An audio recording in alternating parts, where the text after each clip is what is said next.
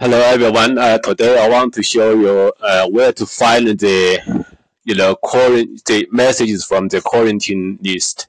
Sometimes when you're the you know mailbox is on Office 365, some emails are missing from the user and the user uh, report to us to find and release the messages.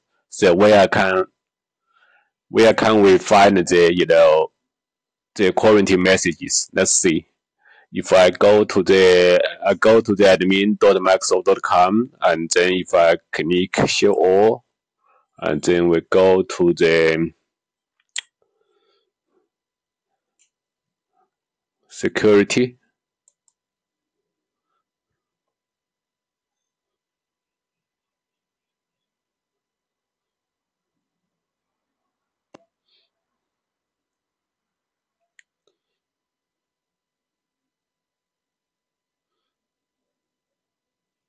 in the security we want to go to review if you go back go down.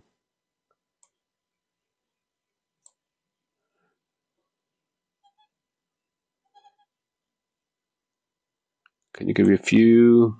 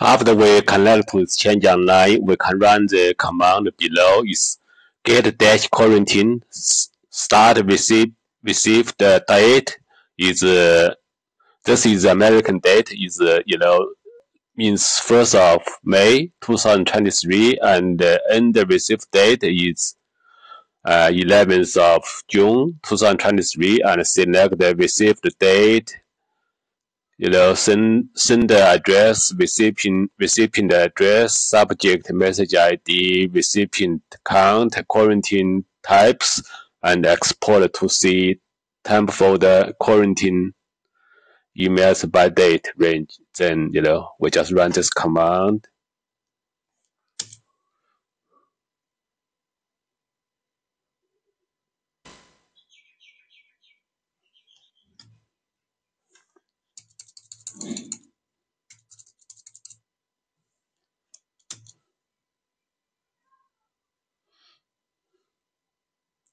So after we run this command, we can go to the folder, go to the C temp folder.